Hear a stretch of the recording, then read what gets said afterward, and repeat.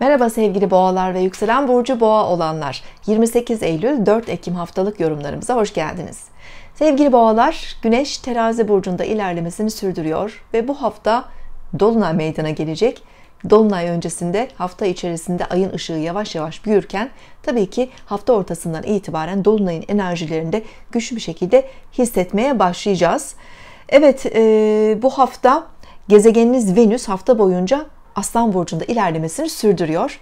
Hafta sonundan itibaren artık 2 Ekim'de Venüs Başak burcuna geçecek. Hafta içerisinde ev, yuva konuları, aileyle ilgili konularda Venüs'ün burada size bazı faydaları olabilir. Yani Venüs iyicil bir etki olarak evinizdeki bazı konuları, sorunları çözmenizde yardımcı oldu size ya da evinizle ilgili yapmak istediğiniz hedefleriniz vardı. Bu, bu anlamda faydalı oldu. 2 Ekim'den itibaren Başak Burcu'na geçecek biraz daha dış dünyadaki hedeflerinize odaklanırken yaratıcı faaliyetler, hobiler, belki kişisel keyif aldığınız etkinlikler, çocuklarla ilgili faaliyet alanlarında Venüs'ün iyicil etkilerini almaya başlayacaksınız. Merkür bu haftadan itibaren artık Akrep Burcu'nda ilerliyor. Bu da ilişkiler alanına zihninizi daha fazla odaklayacak. İletişim, işbirlikleri özellikle eşinizle ilgili konular, partnerinizle ilgili konular, evliliğinizle ilgili konular veya herhangi bir işbirliğinizi daha fazla düşünecek, daha fazla sorgulayacaksınız. Merkür'ün Akrep Burcu'ndaki hareketi bu yıl önemli. Çünkü e, yılın son retrosunu Akrep Burcu'nda yapacak. Bu nedenle bir aralığa kadar Akrep Burcu'nda e, olacak Merkür. 14 Ekim ile 3 Kasım aralığında da retro hareketi olacak. Bu da demek oluyor ki bu e, yaklaşık 2 aylık süreçte daha fazla ilişkilerimizi sorgulayacağız. Bazen zaman zaman geçmişe ait konularla yüzleşeceğiz. Bazen de bazı e, iletişim sorunlarıyla karşılaşma e, ihtimalimiz artacak. Her türlü ilişkide, işbirliklerinde, ortaklıklarda Merkür bizi daha dikkatli olmaya bu dönemde e, çağırıyor sevgili akre, e, sevgili boğalar. Evet bu hafta 1 Ekim'de Ay Koç burcuna geçiyor ve 2 Ekim'de 1 Ekim'i 2 Ekim'e bağlayan gece yarısı 9 derece Koç burcunda dolunay meydana geliyor. 12. evinizde bir dolunay. E, heyecanlı bir dolunay aslında. Şiron'la birleşen bir dolunay. 12. Ee, ev olunca manevi anlamda çok fazla şöyle bir kendi kabuğunuza çekilmeniz, biraz bilinç altına yolculuklar yapmanız mümkün görünüyor. Bu dolunay size önemli farkındalıklar getirebilir. Kendinizle ilgili bilmediğiniz bir şeyleri keşfedebileceğiniz gibi hayatınızda gizli olan bazı konularda da yüzleşebilirsiniz. Evet bu sizi o anda zorlayabilir.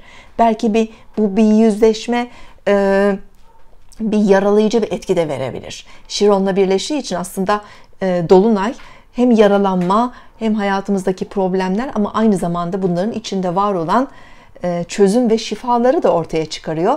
E, bedensel anlamda, ruhsal anlamda, zihinsel anlamda şöyle bir sağlık konuları, günlük hayatınızın detayları, işle ilgili konular veya geçmiş hayatınızda yani bilinçaltınızda tuttuğunuz belki çocukluğunuzla ilgili bazı anılar da olabilir bunlar. Hani onların bir şekilde keşfedilmesi ve şifalanması için fırsatlar da yaratabilir. Aslında terapi gibi e, çalışmalar için, bilinçaltına yönelik her türlü çalışma için bu dolunay çok güçlü tesirler de getiriyor. Çünkü Mars da sizin 12. evinizde geri harekette. Bu e, geriye dönüş çalışmaları, regresyon ve benzeri terapi çalışmaları için e, çok da önemli bir tesir aslında. İhtiyacınız olan konularda, alanlarda hayatınızda bu tesirleri de e, değerlendirebilirsiniz sevgili boğalar. Evet Dolunay 2 Ekim'de ortaya çıkıyor ama hafta genelinde bu e, etkileri devam edecek. Bu haftadan itibaren Satürn artık Oğlak Burcu'nda ileri harekete dönüyor ve Aralık ayına kadar Satürn Oğlak Burcu'ndaki son derecelerde ilerleyecek.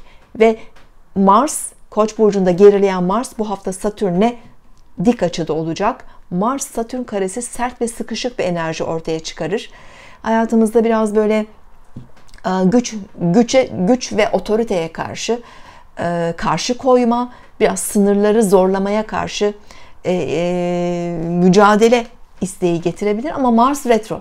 Bu da bizi açıkçası bu bu tarz kurallar ve sınırlamalar alanında sıkıntıya sokuyor. Yani burada e, otoriteye karşı gelmek biraz zor görünüyor belki de kabulleniş içerisinde olmak yani en azından içsel anlamda hissettiğimiz o baskılardan bizi kurtarabilir. e, hukuk, hukuksal bir konu olabilir, eğitimle ilgili kısıtlamalar olabilir veya yurt dışı bağlantılı herhangi bir seyahat planınız, uluslararası alanlardaki bazı hedefleriniz olabilir. Şu an zorunlu olarak kısıtlamalar hissediyoruz hayatımızda. Bu baskılar artabilir. Artma dolunayla beraber günlük hayatımızda bu baskıların, kısıtlamaların artma ihtimali yüksek görünüyor. Bunun sizin üzerinizde tabii ki ruhsal bazı etkileri olabilir ama şu anda değiştiremeyeceğimiz konu ve şartları kabullenmekten başka imkanımız da yok. Biraz daha kabulleniş içerisinde olmamız, e, kendimizi çok zorlamamamız gerekiyor sevgili boğalar. Sağlıklı ve mutlu bir hafta dilerim. Hoşçakalın.